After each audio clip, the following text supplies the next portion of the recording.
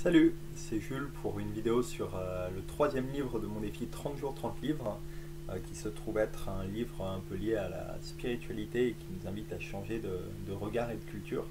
puisque c'est euh, Message des hommes vrais au monde mutant avec comme sous-titre Une initiation chez les aborigènes écrit par Marlo Morgan.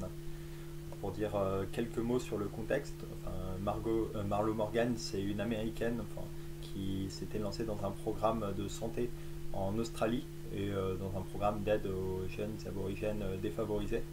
Quand elle s'est retrouvée euh, embarquée dans sa mission de vie dans des circonstances un peu particulières puisqu'elle s'est, en pensant aller à une réunion avec des aborigènes, elle s'est retrouvée à voir toutes ses possessions détruites et à partir pour un voyage de 4 mois pieds nus dans le bush avec eux pour recevoir leur, leur enseignement, partager leur vie et apprendre euh, qu'elle avait été destinée à devenir leur messagère pour transmettre leur message donc euh, au monde extérieur. Hum, par rapport euh, au livre, du coup, ce que j'aimerais vous partager, enfin, il y a différents aspects. Il y a, enfin, déjà tout au long du livre, il y a vraiment une dualité à la fois entre les pensées plus rationnelles et puis enfin, sur la question de différences culturelles, différences de mode de vie. Mais le, plus important dans le livre, je pense que c'est vraiment le, message spirituel qu'il y a derrière, euh, l'invitation par ces aborigènes, enfin ce peuple sauvage d'aborigènes qui vivent encore, euh, enfin tel qu'ils vivaient peut-être euh, il y a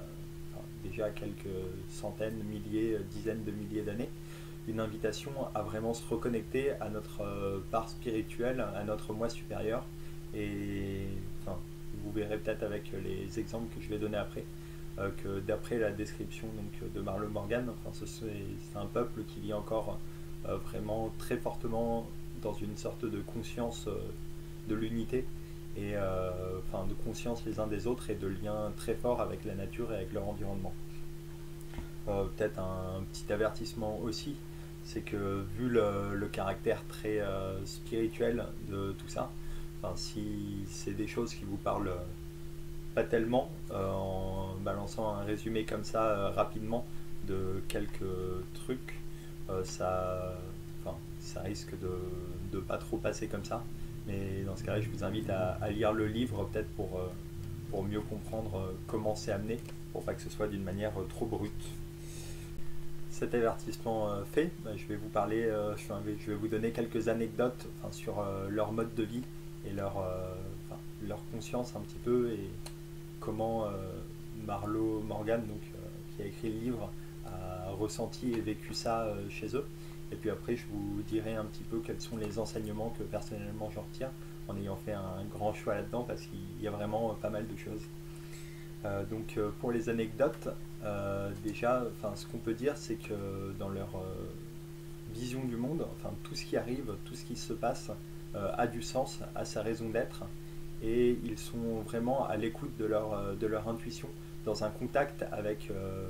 avec l'unité du monde, enfin, ce qu'ils appellent la conscience de l'un, et euh, qui leur permet de,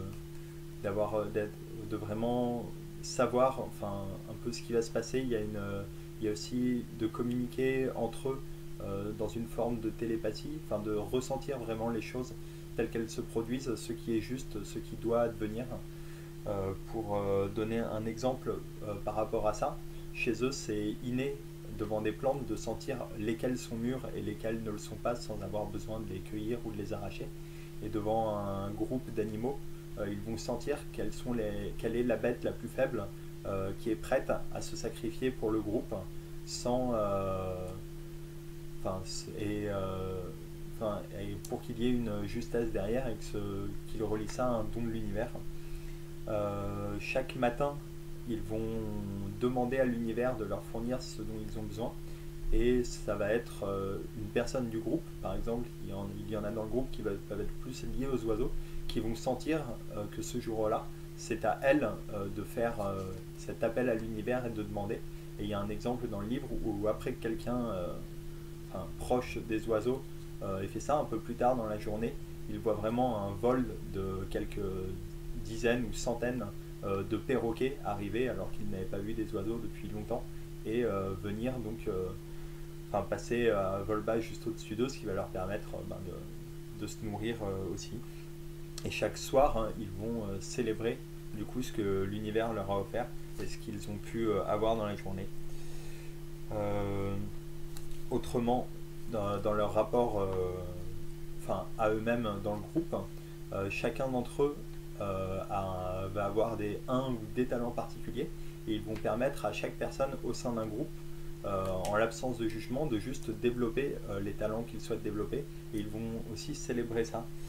Euh, toute leur vie, ils, enfin, ils vont passer leur vie à explorer finalement, à chercher à, évoluer, à découvrir quels sont leurs talents, leur mission de vie. Et lorsqu'une personne estime qu'elle a avancé, qu'elle a progressé, c'est elle-même qui va dire au groupe qu'il est temps de célébrer finalement son avancée qui va proposer de faire, au groupe de faire une fête en son honneur pour euh, célébrer ça. Et ils vont aussi, euh, ils changent de nom régulièrement pour que leur nom représente euh, leur plus grand talent ou leur plus grande qualité à un moment donné, donc ce qu'ils ont envie de voir représenté. Hum, pour eux, lorsqu'ils agissent, les, les, actes en eux-mêmes sont beaucoup moins importants que les, que les ressentis, les intentions qu'il va y avoir derrière. Et enfin, pour agir de manière juste, ça va être aussi important pour eux euh, de faire les choses euh, euh, d'une manière juste par rapport aux plantes, par exemple, que par rapport à d'autres êtres humains. Et, enfin, donc, enfin, je disais qu'il y avait une forme de télépathie dans la communication entre eux. ils sont aussi capables d'atteindre de manière éveillée des états de conscience modifiés, de se relier à, une sorte de temps du rêve, enfin, ou au rêve, et ils comptent à certains moments sur sur les rêves et les, capteurs de rêves pour leur donner des rêves de direction et les aider à, trouver la voie vers ce qui est juste pour eux, euh, tout en accordant, lorsqu'il y a de ces rêves, une, intention particulière, pas à ce qui se passe dans le rêve, mais aux émotions qui vont être attachées aux choses, aux objets, et qui vont être importantes donc pour, euh, pour pouvoir se repérer et interpréter ça. Concernant les, les, ce que j'en retire plus, euh, je trouve qu'il y a quelque chose de très juste dans leur regard sur notre système économique actuel.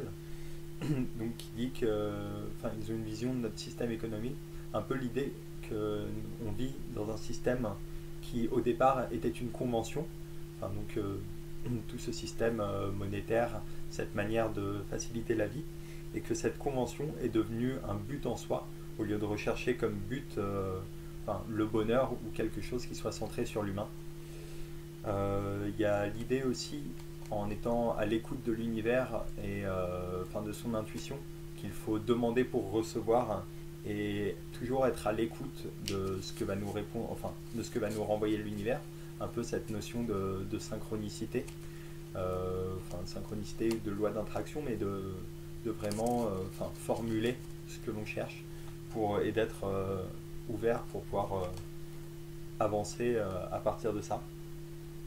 Hmm, il y a aussi une idée qui, pour moi, rejoint pas mal le bouddhisme, mais que toutes les, dans les expériences vécues, qu'il faut aller jusqu'au bout des expériences vécues et ne pas, euh, bloquer sur les peurs, la douleur, enfin ne pas se, bloquer, mais vivre pleinement les expériences pour ne pas euh, créer des traumatismes et rester enfermé par des conditionnements, des peurs.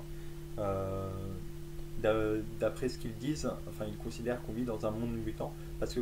parce qu'on vivrait pour eux dans un monde qui est dominé par la peur et donc où on est incapable d'agir de manière juste euh, parce qu'on est toujours bloqué par ces peurs au lieu d'être à l'écoute de ce qui se passe euh, réellement et au-delà des, souffrances qu'on peut fuir. autrement, il y a oui, il y a l'idée que pour eux, le véritable mode de vie humain, et ça rejoint euh, peut-être le,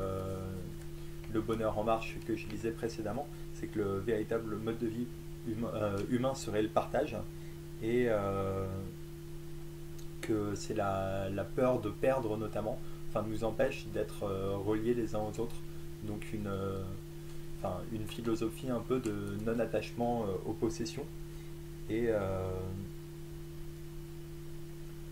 et donc euh, l'idée que, aussi que je trouve assez importante, que pour eux, en fait, si on est des mutants, euh, c'est qu'on a perdu une, euh, certaine conscience, on a occulté une, une, une mémoire de certaines vérités universelles, enfin de certains liens qu'on avait à l'univers, aux autres, et donc qui nous empêchent d'être aujourd'hui pleinement nous-mêmes. Donc pour, pour terminer peut-être sur deux choses